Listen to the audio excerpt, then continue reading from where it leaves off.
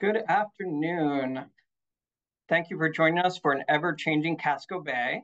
Hi, I'm Will Everett, Executive Director at Friends of Casco Bay. Of course, our mission is improve and protect the environmental health of the Bay. We appreciate each of you for joining us today. My job is simple. It's to introduce Science and Advocacy Associate Heather Kenyon, who is uh, on screen with me here. I'm excited about today's event. One of the things I love about Friends of Casco Bay is I learn something new every day. Uh, we'll be learning from staff scientist Mike Doan, community organizer Sarah Freshley, and Casco Bay keeper Ivy Frignoca. We're all going to share their experiences uh, out on the Bay this year, tell us what changes they and our volunteers have been seeing, what we're learning from our scientific and observational data, and how these data are being used to move the needle for a healthier, uh, more protected Casco Bay. Leading us in this conversation will be Heather Kenyon. Uh, she joined our staff in 2022 as our Science and Advocacy Associate, a role that we created uh, thanks to the Climate Change at Casco Bay Fund, uh, fund which many of you on uh, this event donated to, so thank you for that. Heather is multi-talented. She has a background in marine science uh, and environmental policy. She's done scientific research through scuba diving in Florida Keys. She studied law at Maine Law, where she was editor of the Ocean and Coastal Law Journal.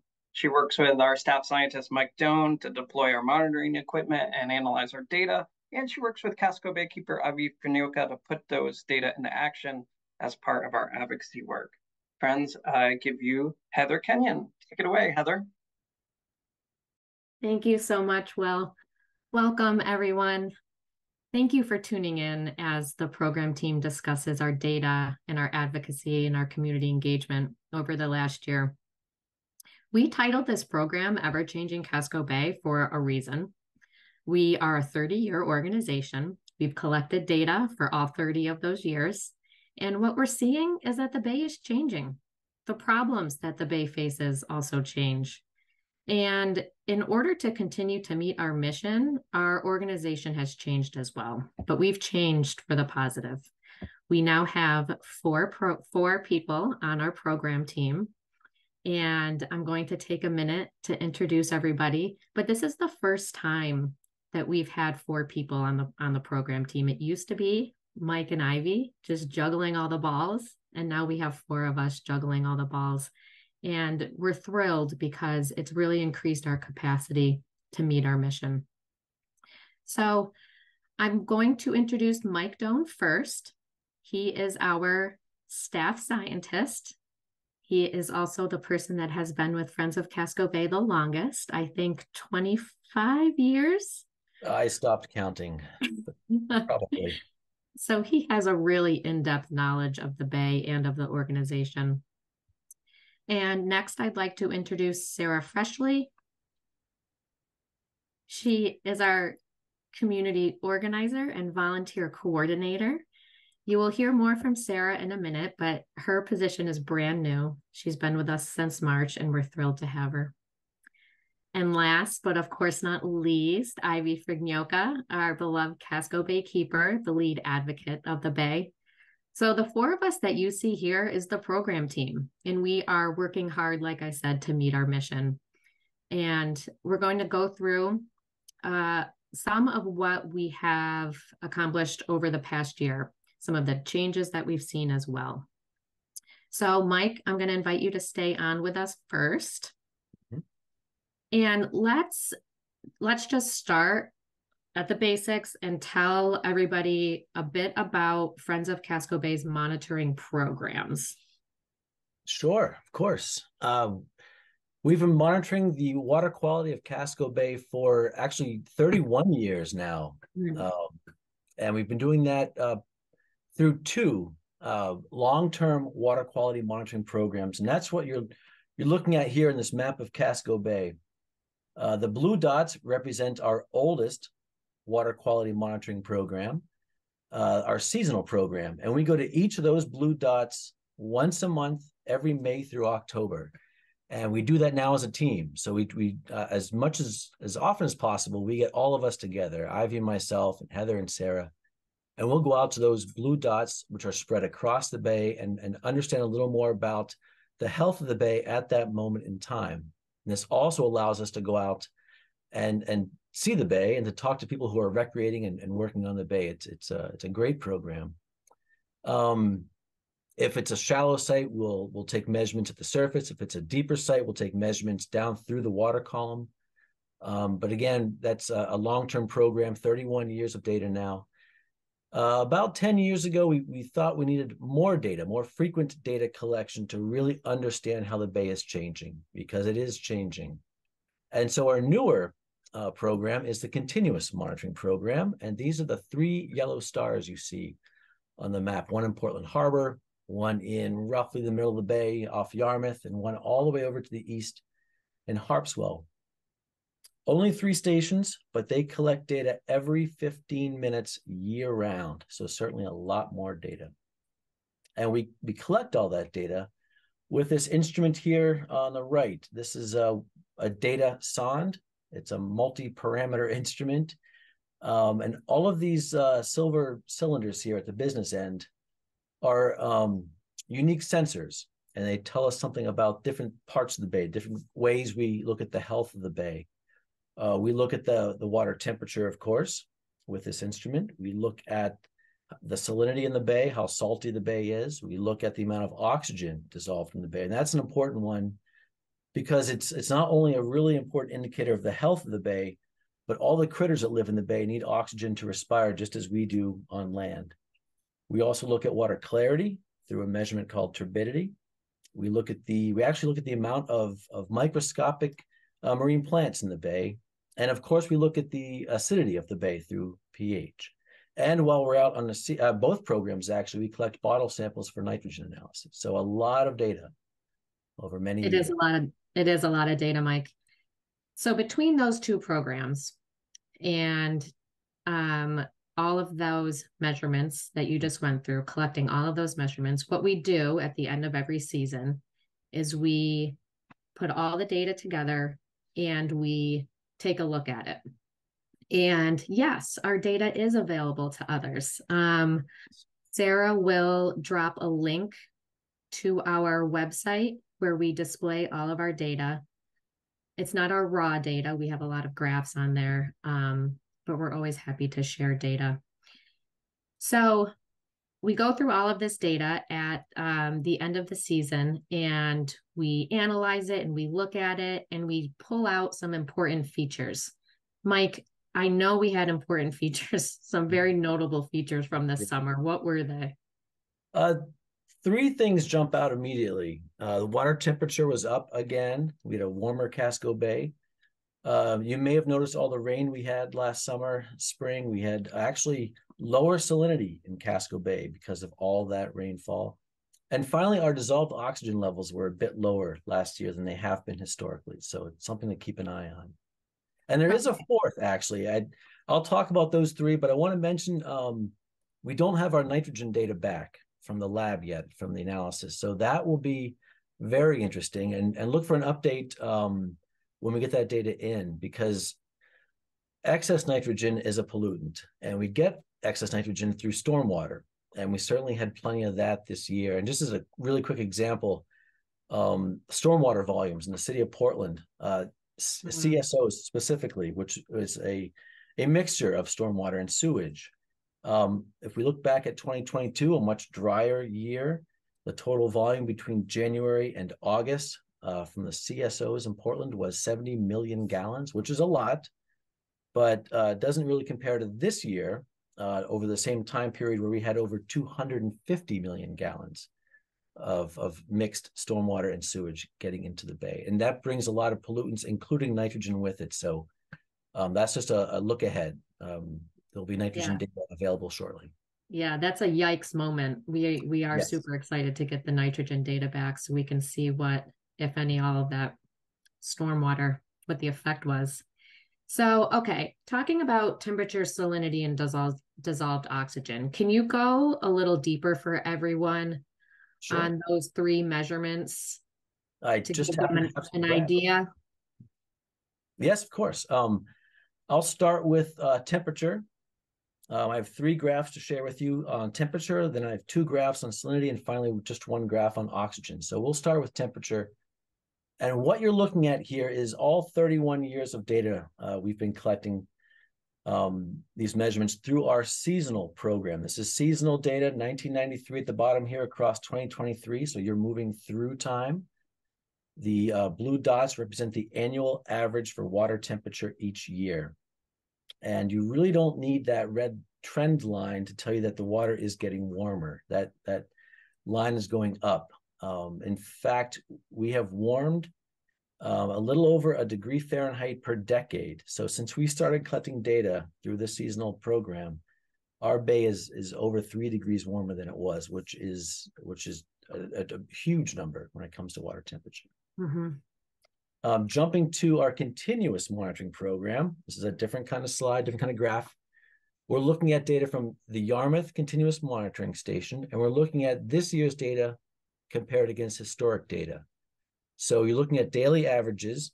Um, the gray shaded area you see here is the range of measurements of daily mean, daily averages uh, from the highest to the lowest.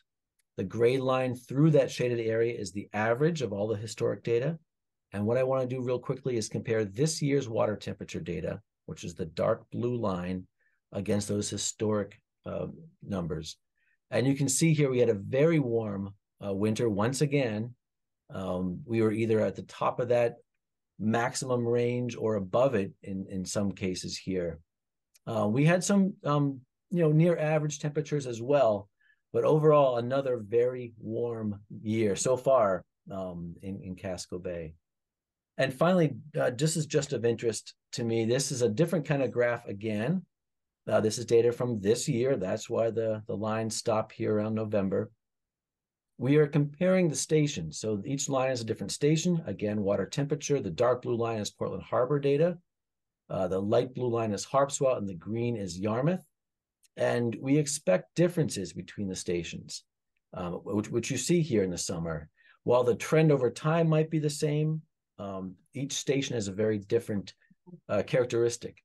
And they were different right up until this gap here. And this was the hurricane. And there's a gap because we uh, wanted to make sure the stations didn't get broken or damaged. We took them out of the water. Um, so there's a gap there where we weren't collecting data. When we took them out of the water, you can see the differences between the stations. When the station went back in, all three stations went back in a couple days later, you can see how well mixed the bay had become. All those big winds, uh, big waves from that hurricane really did mix the bay, homogenize the bay. So it uh, the lines became much t- closer together. But that was just of interest. Let's jump to salinity if we can. Um, mm-hmm. we're looking again at Yarmouth Continuous Monitoring Station data. And again, we're comparing this year's data to historic data, the historic data in the gray, this year's data in the dark blue. I do want to note this big drop off in the spring. We expect that every year. This is what we call the spring freshet. All of the snow and ice that's melting in the watersheds, running down the rivers and getting into Casco Bay. And it does drop the salinity a bit. Um, what we didn't expect um, before this year was how low the salinity might go because of the rainfall we saw all spring and summer. And that's what you're seeing here, how much lower this blue line is below the gray, how much lower the salinity was this year when compared to historic data. Um, and we'll, we'll, zoom in just a bit. Um, we're still looking at this year's data. This is just zoomed in on only August of this year. We're still at the continuous monitoring station in Yarmouth, and we're still looking at salinity, which is the green line. I want to introduce um, the blue line, which is flow out of the Royal River, which is pretty far away from the station. But um, you can see when we had a rain event here uh, in uh, August 9th, August 10th, there's a big spike in the amount of water coming out of the Royal River. The volume increased. At the same time, the salinity at the station decreased dramatically. Um, after that rain event, um, the river flow went back to normal, but it takes the rest of the month for the uh, the salinity to kind of rebound to where we expect it. So it's a lot of fresh water. We don't see this normally. It's an example of having uh, almost twice as many big rain events this past year than we normally do. Um, rain events greater than two inches or more of precipitation. So uh, it really did make a difference. And the big takeaway for me is all of that that rainwater, all of that storm water doesn't just bring fresh water; it brings a lot of pollutants as well. So you can only imagine what came down into the bay uh, with all that fresh water. But let's leave salinity. I have one last slide. Dissolved oxygen. I talked about how important this was, not only as an, an indicator of the health of the bay, but how important it is to everything that lives in the bay. And we had very low oxygen levels. This, once again, is Yarmouth data from the continuous monitoring station. This year's data in blue, historic data in gray. And we are below those minimum lines for a lot of the year. And that's concerning. Um, my big takeaway here is that one of the things that might be going on is that warmer water holds less oxygen than cold water just because of physics. And as our waters in the bay continue to get warmer, this might be something we want to pay even closer attention to. These low levels aren't really low enough yet to, to really get us too concerned, but they are lower than they have been previously. And I do encourage everyone to go to the website and follow along. These graphs are there and updated as quickly as we can. Thank you, Mike. I think the last point that you just made is that, you know, the dissolved oxygen levels aren't, they're not concerning too much yet. But, anyway, yes. Right. Yeah. But we know that the bay keeps changing. And so collecting exactly. this data is going to be just as imperative in the future as well.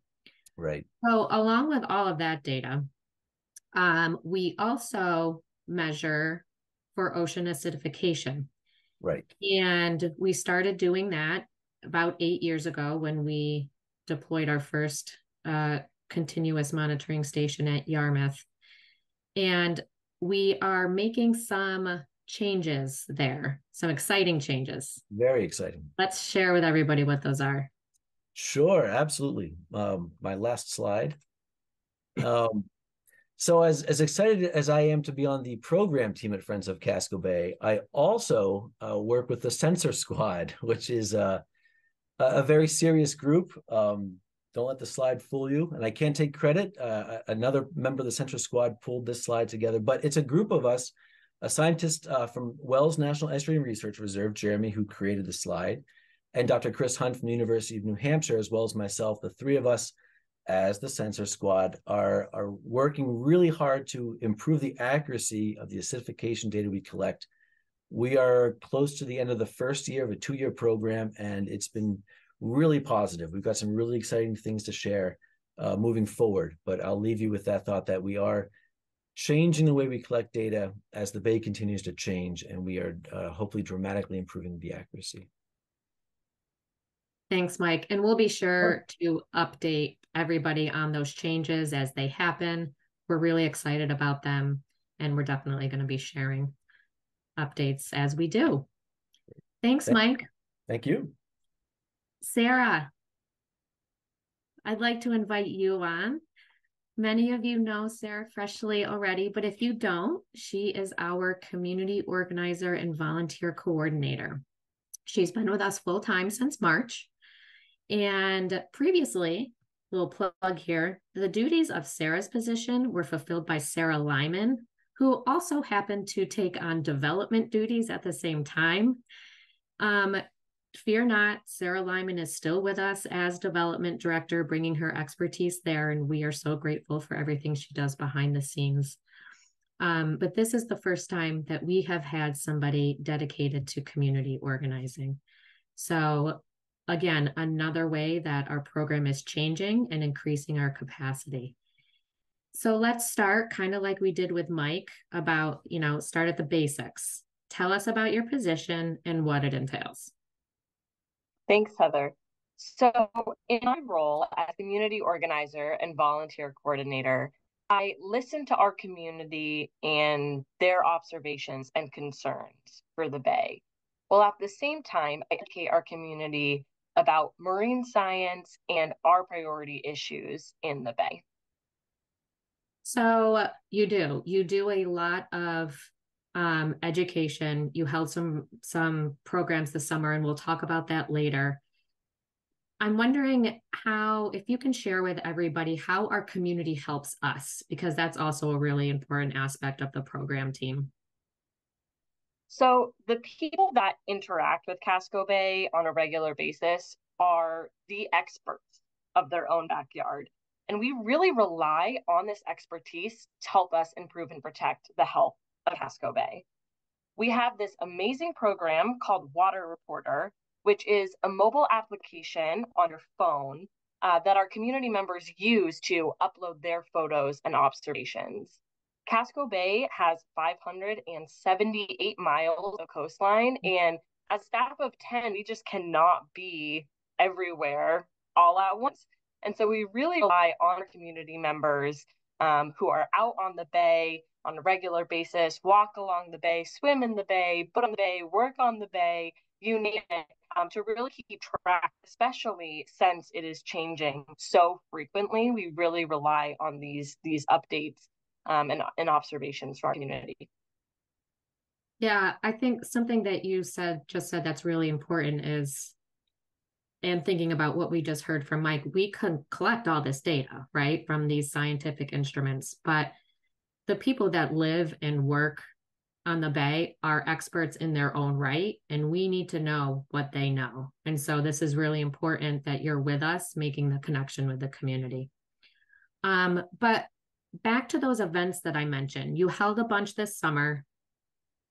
Tell us a little bit about those events what they entailed i know i was at one for stormwater and we had doug Roncarati from the city of portland there and i thought it went great but I wasn't at all of them. So tell everybody what happened at the rest. Yeah. So I held several events throughout the summer season, specifically water reporter events, which anyone is welcome to, but we do cater them around water reporters because we really want to educate water reporters about what to look for. What is eelgrass versus from water? What is the flora and fauna look for in order for those photos to be most helpful for us. So we had several events all the way from Harpswell to South Portland this summer. Um, and we pulled experts such as a marine geologist to tell us about salt marsh erosion, an invasive species expert. As Heather mentioned, we had Portland Stormwater Program coordinator come. And we even had an observation expert to help us tune in for us when we are observing the coastline and the bay. So these events are a great way to learn about our work and connect with our community. And I really look forward to having more in this upcoming season. So Mike mentioned, you know, that there were some big takeaways that he that he and I took from the data collected. There were some big takeaways from the summer. There were also some big takeaways from water reporters this summer. And I know you have some slides to share with everybody on those. So let's hear them.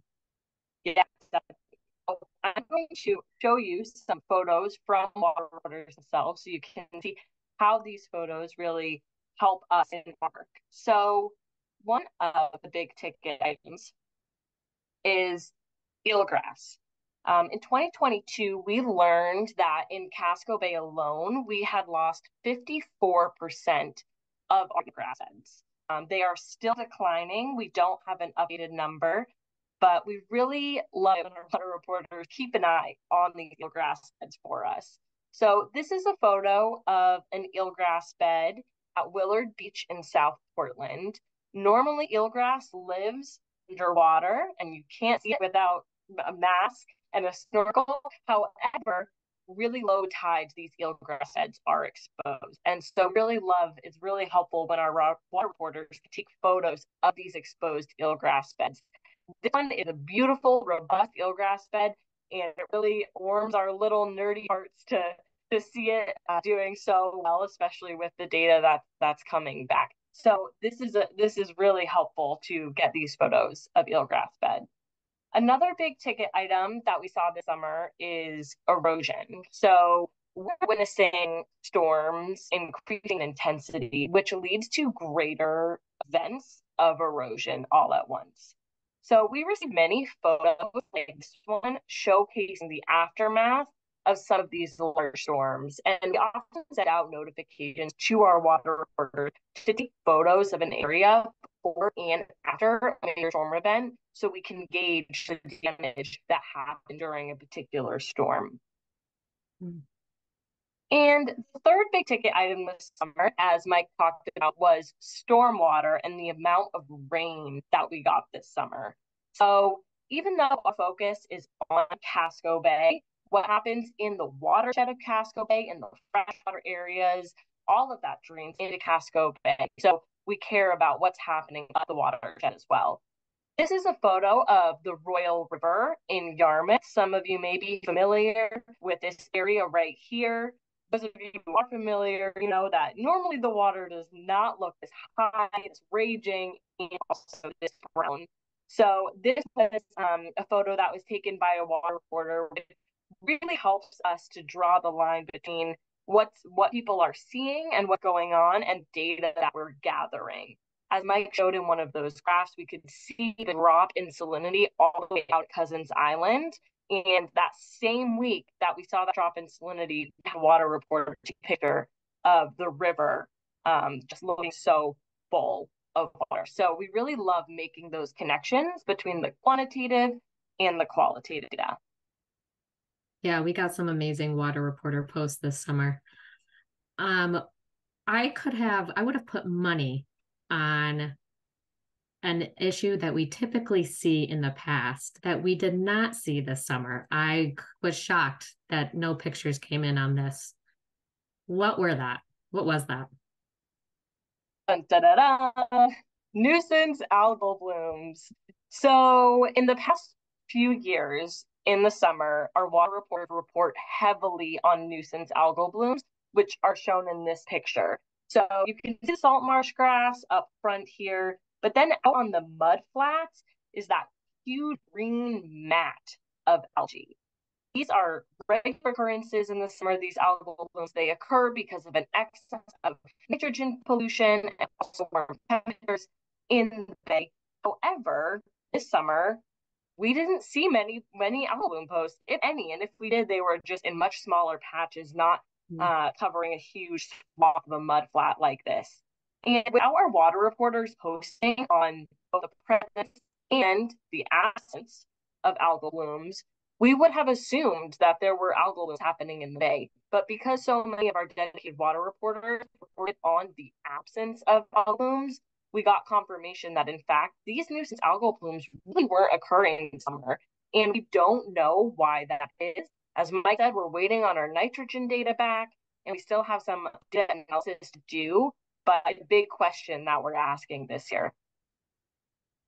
Yeah, that really underscores the point how much we rely on our water reporters. Mike talked about changes that he's making in the monitoring program, and we have also more exciting changes happening in the water reporter program, but you know those changes best. So let's uh, update everybody on those. Yes, ever ever changing. Casco Bay Bay. Yes, so our water reporter is changing for the better. We currently have a mobile application that our water reporters use. However, it's not the most user friendly app, and we really want to engage community members. And to do that, we need a user friendly app. So we are in the process of developing a new platform, which is going to make it much easier for not only our community members to use, but also for us, the program team on the back end to extract that data um, in a much more comprehensive way to really help us move the needle forward on the health of Casco Bay. So if you are interested in learning more, please sign up to be a volunteer with us. You can attend our events, learn about marine science and Casco Bay, and really help us in our work. The link should be coming to you in the chat, but you can find that link on our website as well. Thank you so much, Sarah. Thanks, Heather. Ivy. Welcome. Hey, Heather. Thank you so much for joining us. Everybody always loves hearing from you since you're our lead advocate. Um, you're the Casco Bay Keeper. For guests yes. that are new to our organization, can we explain to them what exactly that means? Yes. Um, I often describe my role as being the Lorax for the Bay, and meaning that I speak for the water. And I have to say, it's like an absolute passion. Like um, I have a, a self-designed major in environmental studies as an undergrad, and I designed my major to do exactly this, and that was um, before the waterkeeper movement started. So it's an honor and a privilege to be the baykeeper. And the essence of the role is to meet with staff internally, get out in the field, collect data, talk with everyone, including, you know, looking at what our water reporters are doing and how other people who interact with the bay, what they're observing and seeing and learning about the bay, to take all of that information and to tease out from it what are the problems that most threaten the health of the bay and the rivers that feed the bay, and then to work toward solutions. And we often do that in collaborations, but sometimes we're the only advocate in the room, and that typically happens when we're commenting on uh, things like permits issued under the Clean Water Act. And uh, just to put a plug in for the team approach, um, our capacity to do baykeeping, yeah, is really enhanced by um, Heather being on the our team. Thank you, Ivy. I also happen to have a passion for, you know, this kind of work. So um, so we just heard from Mike and Sara about the data that they collected over the summer. Mike shared some highlights of the data he collected with the sondes that showed some of the effects of the rainy weather we had. Sara, Sara shared some data collected by the water reporters about observed effects. So as the baykeeper, how do you use that data in your advocacy? Um, so we typically describe the summer as field season, even though through continuous monitoring, we're collecting data year round. The field season is when we as staff are primarily out around the bay and collecting information and data. And we typically call the fall the meeting season. And so at this time of year, we're not only having meetings internally, as Mike was alluding to, where we're really looking at the data and comparing it to data that others are collecting, like the combined sewer overflow data or, or um, river gauge data.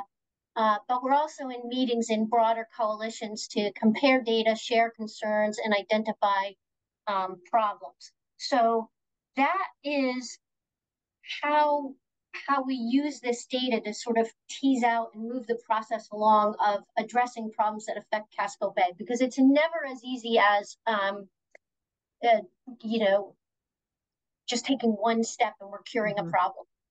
Mm-hmm.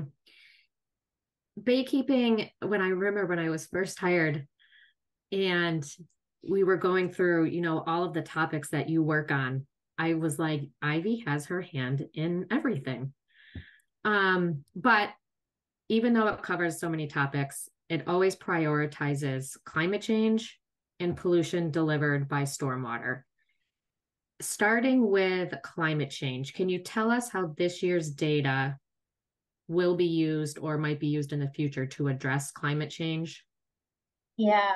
So, our task in climate change is is pretty difficult. First off, it's right reducing the sources of climate change, and um, and there are we we do that work through coalitions, and then we really focus on how do we make our bay resilient. Like we know the bay is changing, uh, we know it's going to continue to change, and so we we need to sort of prepare for that and and do our best thinking and work toward helping the bay be resilient and healthy mm-hmm for generations to come.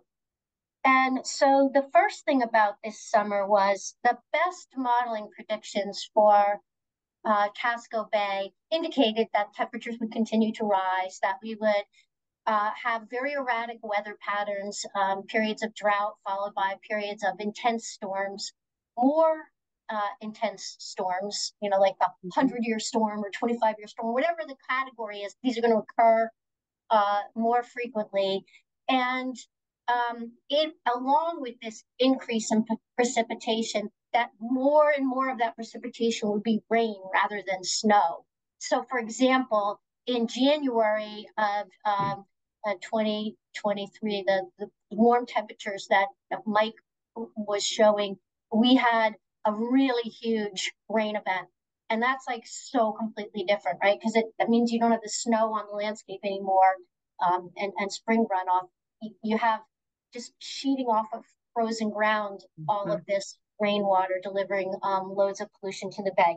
So first is um, we this confirmed for us that we have some concerning tra- trends we need to consider in the work that we're doing. Second, um, so how we use that data then, um, uh, I'm coordinating the team of scientists that Mike is part of um, and the sensor squad is part of that works from New Hampshire to Canada to try to develop a uniform set of standards that can be used to accurately monitor ocean acidification so that we have good data to set policy recommendations and resilience recommendations, resilience strategies for the Bay. Second, um, I've been reappointed to the Coastal Marine Working Group of the Maine Climate Council. That council was formed shortly after Governor Mills assumed office.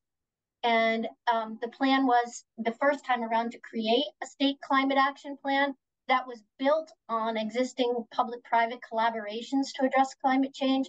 And in this iteration, we're um, updating the initial strategies that made it into that plan. And so the roles that we'll be playing, building upon what we did last time, is I am co chairing the monitoring subcommittee of that group and looking at um, how the uh, monitoring work it, it can then support policy. And I'm also on the uh, Blue Carbon um, Nature Based Solutions group, and that Sara alluded to that. Eelgrass is a critical nearshore habitat. Blue carbon means it can store um, carbon dioxide and help reduce the effects of carbon emission in the marine environment. And nearshore, because it's a rooted plant, it, it helps with resiliency from storm surge. And then um, uh, finally, we are part of a collaborative grant to study why we're losing eelgrass in Casco Bay, and we'll be doing that work next summer. Please ask questions about it, because I know like this is a kind of question like Heather and I could just talk all day, and we do, but um, I can't do that with you right now. But I'll be happy to answer your question. So Heather, back to you we do talk about this all day. And yes, ask us questions and look out for our updates. Um, our development team and our communications team is really great about getting updates out to you all. So that was a great recap on how we are addressing climate change. We cannot forget about stormwater. Um, tell us a little bit about it. This year was crazy. Mike alluded to the CSO volumes that we saw um, tell us about stormwater. I mean, I think if Mother Nature, you know, the, Mother Nature was not subtle this year in uh-huh. terms of you're saying like we cannot forget about stormwater. She was not subtle. She's like, you will not forget about stormwater. And so, um, so yes, it renewed our focus on this. Uh, stormwater is a really difficult uh, problem to work on because it sheets off of our landscape and we don't control when it rains or the volumes of water with each storm. So it makes it difficult. So we try to work where we can. And two of the really big um, aspects we're working on are uh, one, there are certain categories of stormwater that are regulated under the Clean Water Act.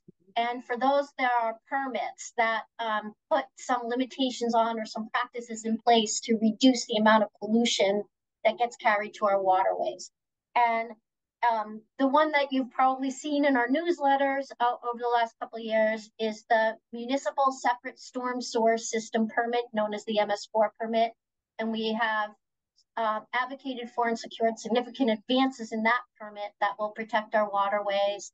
Um, and then in the year ahead, the, uh, the other categories of stormwater that are regulated under the Clean Water Act to a certain extent are construction on large projects and commercial and industrial. On the construction front, we'll be commenting on the Maine uh, general permit that regulates construction. And then uh, there's a special permit in the Long Creek watershed around the Maine Mall uh, for commercial and industrial discharges. And we'll be commenting on that as well because we can't do much under the Clean Water Act, um, one of the other regulatory you, uh, tools that we use is looking at stormwater regulation. So on a municipal level, in that MS4 permit we referenced, we um, advocated for and included a requirement that municipalities have to adopt ordinances um, that require the use of um, of special techniques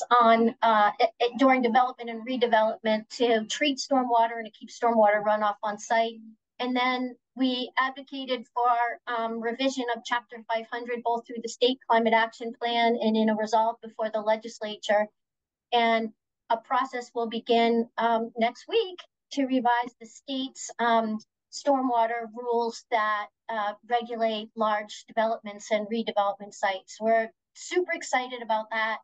And Heather, it's a really great example of incremental changes, right? Incremental work, how we how we keep building, we look at data, then we try to find solutions because we saw stormwater as a problem. Uh, we worked on it as part of the climate council last time. We got it into a law. We've been working on a permit on the side, and now the process of revising the the regulations is is in place through a, a really thoughtful process that our Department of Environmental Protection has put together. So um, this work takes uh, patience and uh, strategic steps along the way.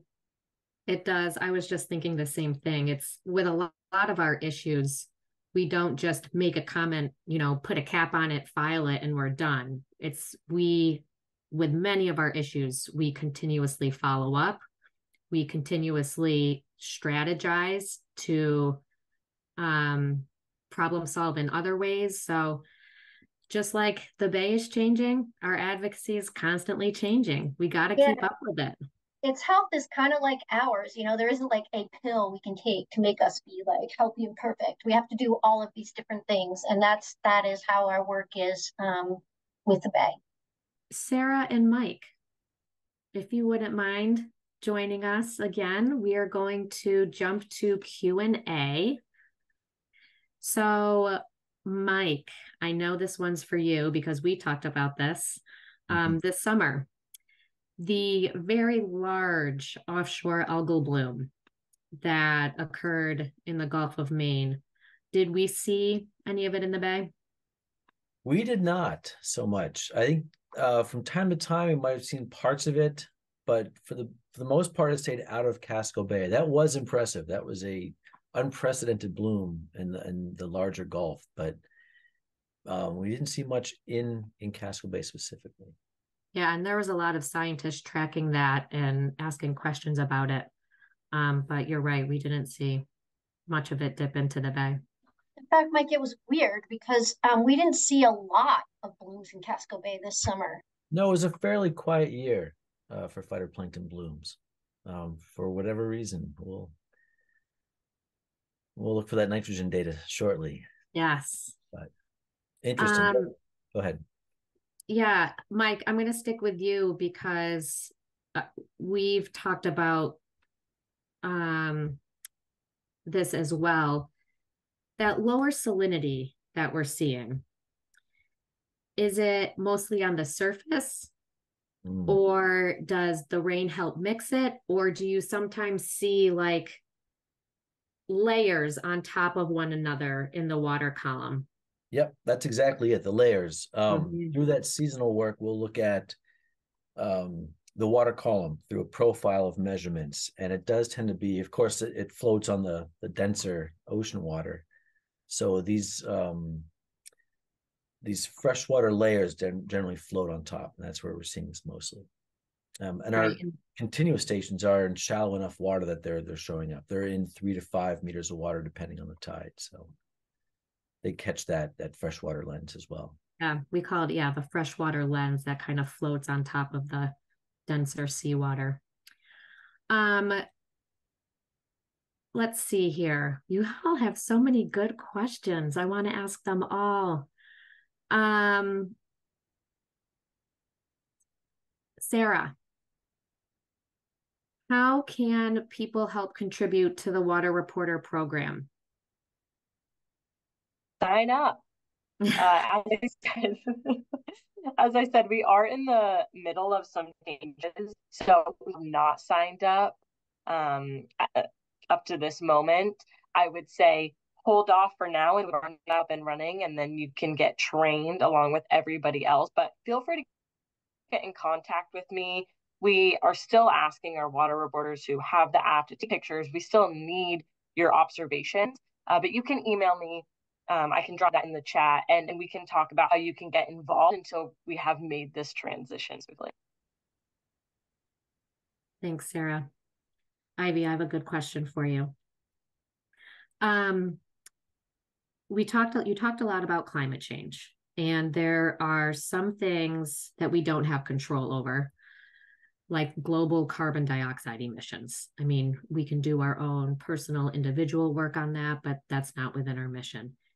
So, given that the climate is going to change, but we do work on other issues such as pollution, how important is it to reduce pollution into our waters, given that climate change is happening?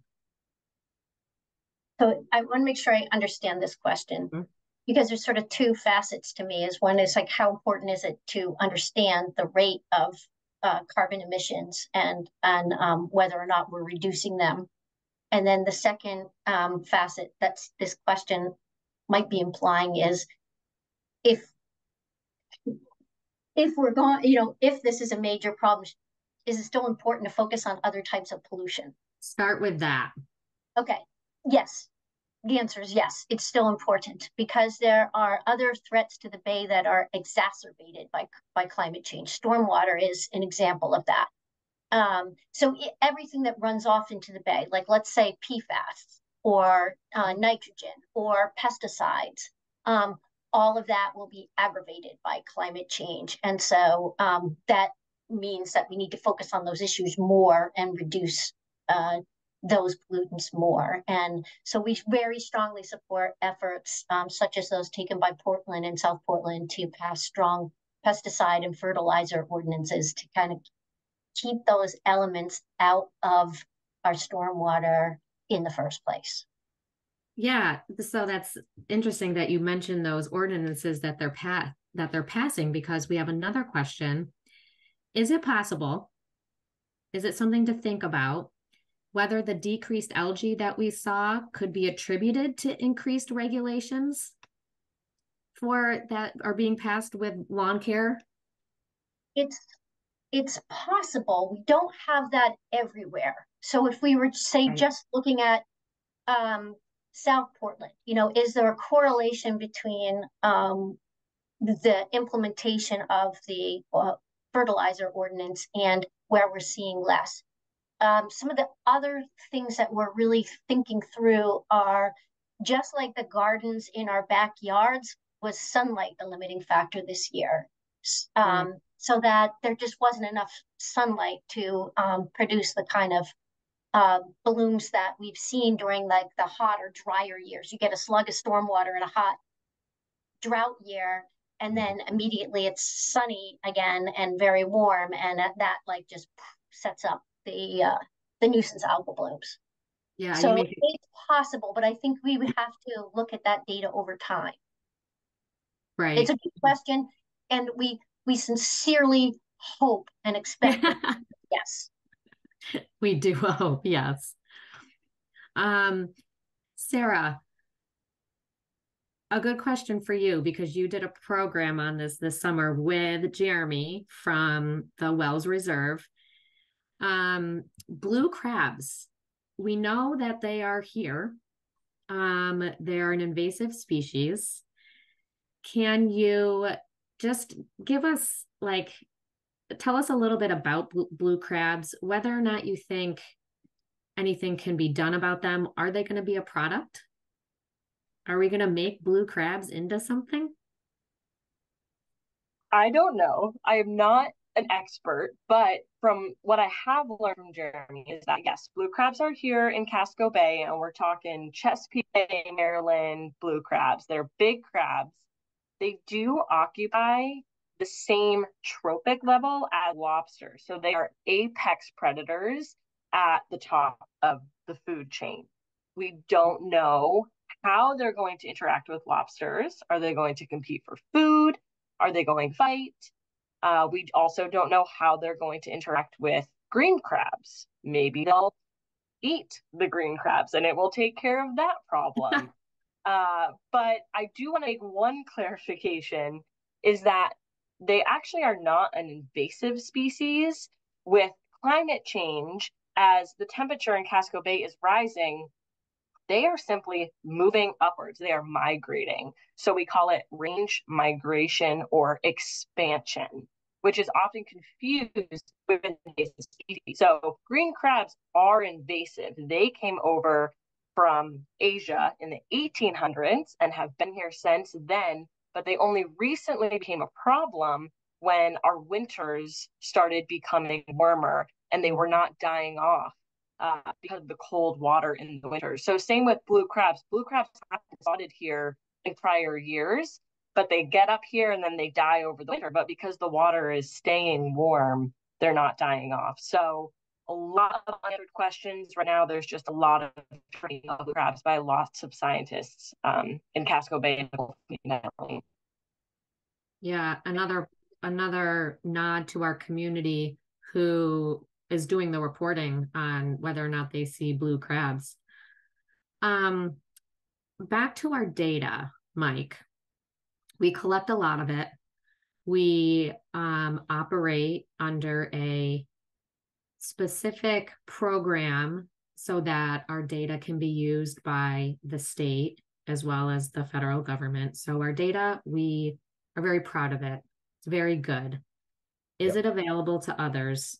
What if a researcher wants it? What if a teacher or a concerned citizen wants it? Absolutely. We do this all the time. We'll share whatever parts of the data or all of it that that is requested uh, from both the seasonal work and the continuous work. Yeah. So as we mentioned earlier, we put um yep. after all of our raw data, like all of the literally millions of numbers, after we get all of that, we consolidate it into a graph and we put it up on the website. So that's like an easy way to look at our data. If you want to look at all of those little numbers, you can always email me or Mike Yep. And tell us what you're looking for, what measurement you want, what year you want, and we will gladly send it to you. Yep. Um, I'm gonna stick though with you, Mike.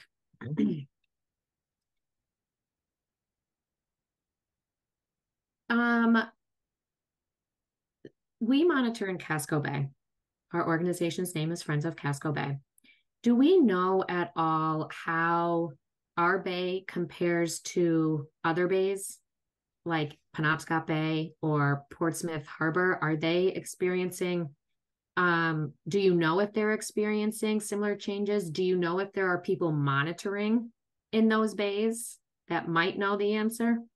There certainly are, and I'll have Ivy jump in as well. Uh, we are part of a network that includes groups up and down the, the state of Maine into New Hampshire.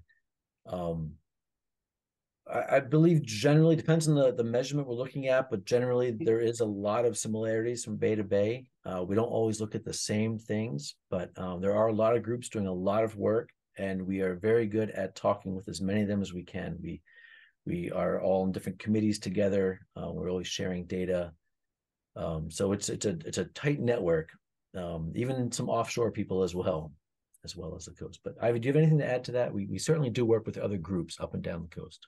Yeah, it's a really big question, right? Like yeah. what what is monitoring and what are you monitoring? Right. And so um, there's a lot of data collection, and we tend to do comparisons by issue. So, for example, we're part of this network that uh, is looking at ocean acidification. We're part of another network looking at blue carbon sources. Um, we, through the Climate Council and the monitoring subcommittee there, are looking more comprehensively at different types of monitoring. There are other people who are monitoring for social changes, right? How this is changing um, the ability for generational transfer of, of, of lobstering um, vessels and businesses or, or soft shell clamming. So um, do we know the specificities of other bays? No. Um, are we part of networks where sometimes there's comparisons with other bays? Are we trying to be helpful to partners who are just beginning their monitoring efforts? Yes. Yep, and we'll certainly reach out for specific questions like uh, the mm -hmm. large offshore phytoplankton bloom this year. We'll ask others if they're seeing something like that. If they're not seeing that bloom in their bay this year, that, that those sorts of questions we, we certainly ask. Yeah, we do talk to a lot of different partners and um, we certainly can't monitor it all. So we're so thankful for the work that our partners do. And one um, last thing I think on that uh, topic, sorry. Um, we're part of the Waterkeeper Alliance, which means that we're part of a network of waterkeepers around the world. And in the North Atlantic region, there are times that um, I really want to consult with the waterkeepers who are a little further south of us, like Long Island Sound and Great Bay in particular, because they are, as, as problems come up the coast, like warming temperatures, disappearing eelgrass beds, they're experimenting before we are um, mm-hmm. with some of the um, ways that we're trying to make our bay healthy into the future or keep our bay healthy into the future. Mm-hmm. So, um, so there's another level of networking that we do that is informative, or we can try to learn by what other people are piloting or experimenting with and think about what pertains here. Yeah, on the, I'm going to ask one more question, and it's somewhat on the subject of networking because the city of Portland is a partner of ours. We do, we work with their stormwater coordinator, with their um, wastewater department, and we everybody sees the giant project happening on Back Cove. Um, what do you think, Ivy, is the impact of having the sewer treatment plant right on the water's edge? And what is the impact that the work um, along Back Cove is going to have? And then that'll be our last question. Okay, so it looks like there's two questions. Two questions. So first, um, wastewater treatment plants are always along the water's edge because they discharge into wa our waterways. And um, so I think you're always going to find that. So there's two implications of that. One is um, our wastewater treatment plants are one of the very best ways we have to reduce water pollution. Mm-hmm. And we're very fortunate in Casco Bay to have um, people dedicated to that mission at the, the, the major facilities we have around the bay. And so, although we may not always agree on everything, we can often work with people to get advances to protect um, water quality. And East End, in particular, has taken on some projects where um, during intense storms, it goes from operating at a capacity of about 18 million gallons a day to 80 million gallons a day as it takes in a lot of storm water and treats it. Not fully to the same extent it would if it wasn't running, and that's called bypass operation. It disinfects everything, removes the large solids. So it does a really big job to help with stormwater reduction. And then they also worked to um, change how they're operating their plant to really reduce nitrogen pollution into the bay. And that's had the single biggest impact in reducing uh, the effects of nitrogen pollution in greater Portland Harbor. So um, the complicating factor of this very astute question is that because our treatment plants are in the near shore with sea level rise and storm surge, they're going to be facing increasing challenges. And I think there'll be some major infrastructure discussions that mm-hmm. municipalities are going to have to have to make sure that these plants can continue to function. Um, the storage conduits, Will's on, which means like time to wrap up. Um, the storage conduits, just very briefly, are going to once the series, this this is the third in a series of uh, storage tanks and conduits around Back Cove. When that's completely up and running, the, the two facets of it are this is the third piece. It will hold storm water until that east end facility has the chance to um, accept and treat the stormwater before it's discharged. So it won't completely eliminate combined sewer overflows to Back Cove, but it will significantly reduce them and treat the most polluted, allow the most polluted stormwater to be treated. You can't wait for it to be up and running. I'm going to turn it back over to Will. I can see he's popped on. Thank you, Ivy, Mike, and Sara. And most of all, thank you for uh, everyone who joined us, uh, spending an hour with us. Uh, hope you learned something. Hope this inspired you to uh, help us uh, take care of Casco Bay. There are three ways you can you can help us. One is by becoming a volunteer. You can contact Sara Freshley about that. Uh, the second is to donate. Uh, our, our work is supported by our members. Uh, and just coincidentally, today is Giving Tuesday. So Uh, if you haven't made a donation to us yet this year, uh, please uh, consider giving to Friends of Casco Bay. And the third is if you're already a volunteer or you're already a member, the other way you can help us is to tell your neighbors, friends, uh, and family about uh, events like these and about our organization and uh, and about uh, work happening to protect Casco Bay. Thank you for joining us. Take care.